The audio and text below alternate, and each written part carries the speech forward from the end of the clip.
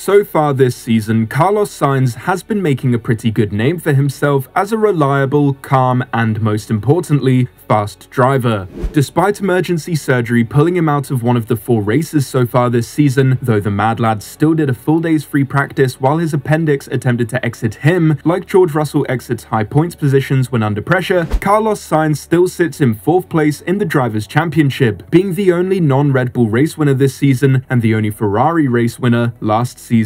All of these facts shouldn't point towards a driver headed for the unemployment line, however that is the reality in which we reside one where a talented driver just hitting the peak of his powers, with a team he is fully embedded in, is sent out the door on his merry way because a supposedly better option was available. Whether you believe that to be the case or not, it's hard to argue against the fact that Sainz has made Ferrari look pretty foolish so far this year with a comprehensive display of just how good he can be. If it weren't for his absence from the Jeddah race, he would likely be above not only his teammates, but potentially Sergio Perez in the Drivers' Championship after the first four rounds. So why is it then that no word has been made on his future? And could it be that we may be about to witness the best driver to ever be left out of the sport due to either his high standards or the cruel fortunes of the grid? Want to know why Carlos Sainz may be on his way out of the sport entirely? Surely it wouldn't be fair, but when has life ever been? And stick around because the man holding the keys for his future may just let them slip after all. Time is of the essence more than ever this year, with the two-year silly season on the build-up to the new regulations getting kicked off in a massive way before the season even really started, there is no time to waste.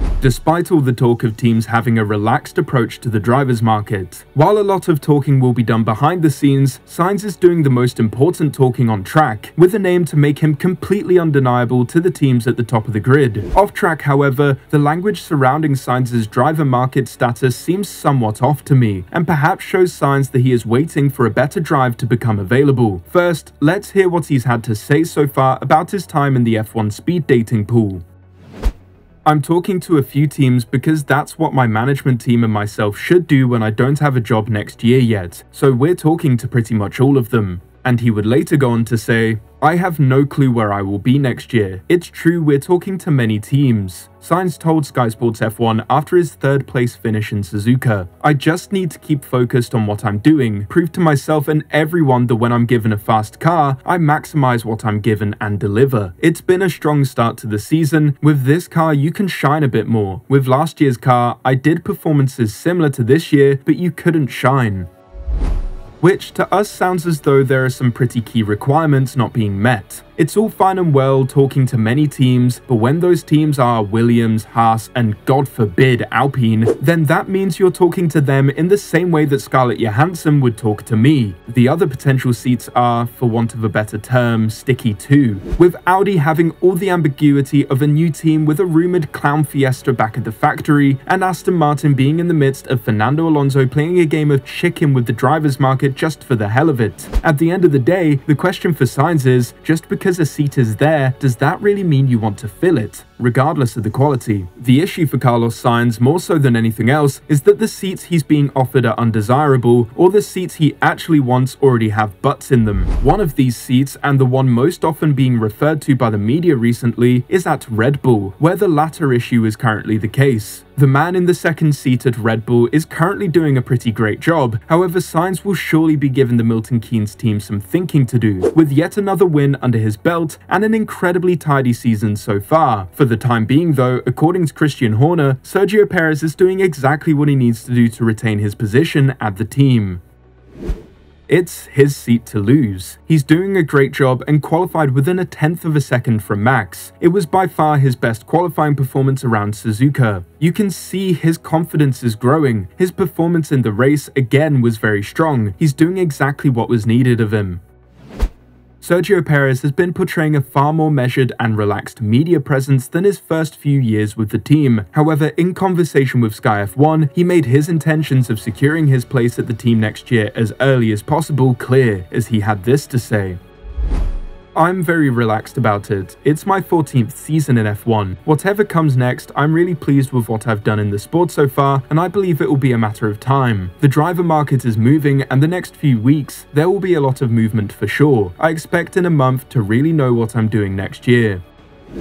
So realistically then, the only person who can stop Sergio Perez from no longer being at Red Bull is the man in the mirror. Good thing he is in the best car. He has a penchant for brawling on the circuit to secure second and has totally never completely lost all ability to make the most of these factors. Oh wait, yeah, in case we all have short-term memories or something, it's hard to forget quite how brutal the past couple of seasons have been for Checo at times. At times, it felt like he was a mere race away from being sent to the Alpine Shadow Realm due to his constant half-second discrepancy to his teammate in qualifying, infuriating inability to cut through the field while Verstappen did so like a hot knife, and constant delusions of fighting for a championship getting under everyone's skin at the team, including the bosses and the Verstappens. In spite of this though, Sergio has certainly had a strong start to the year, unlike, oh yeah, he did have a strong start last year, didn't he? Well, at least he didn't fail to capitalise on Verstappen's absence now, did he? Uh... Well, at least this year he seems grounded, with no outlandish claims of titles and a real lack of ego. Perez will humbly secure his seat for the foreseeable future, just so long as he doesn't let all of this early season success get to his head, right?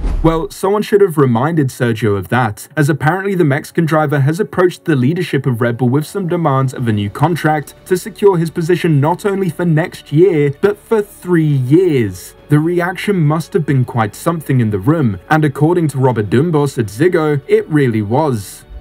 For example, Perez went to that team yesterday in Japan and said, I want a three-year deal. At the table, there is a laughing reaction to the anecdote. Laughable indeed. That request is rejected by Marko. He says, no way, you have to give him a deal for a maximum of one year, because if you give him a two year deal, he'll sit back and give up again. Let him run every year. Perhaps it also plays a role that next year's contracts are at stake, this year much earlier than usual. That also seems to be very motivating. Doornbos hit the nail on the head at the end there, as every driver who isn't already tied down will be attempting to move up the grid over the course of the silly season. So of course, Sergio will want to have his seat secured at the earliest opportunity, because right now, the only way is down if he and Red Bull part ways. Having a man like Carlos Sainz breathing down his neck, who not only has already won a race so far this season, but also has a close history with Red Bull, will be a massive kick up the arse for Sergio Perez. But how he deals with that stimulation is down to him. Let's say Ferrari managed to catch up with Red Bull over the course of the year. If Perez cannot handle a straight fight in the same way his teammates can, then it may be a death blow for his time at Red Bull. However, theoretically by the time Ferrari catch up, then all the contracts may be signed, sealed and delivered, and it'll all be too late for Carlos Sainz. Something that could well be the case if Helmut Marko is to be believed, as he spoke about Red Bull's reaction to the sudden shift in the driver market. The driver market has exploded in April, and normally, nobody talks in April. It's ridiculous, but we won't jump into this game ourselves. We will wait and see, and only then make the best choice later on. I have heard that Audi is making pressure, but it is a little strange for a newcomer to make pressure on the driver market. So what do you think? Can Sergio Perez hold on to this seat, or will he let it slip in yet another capitulation as the season goes on? And what about Carlos Sainz? Do you think there's a chance he could just fall through the gaps? We certainly hope not. Let us know in the comments below, and thank you for watching.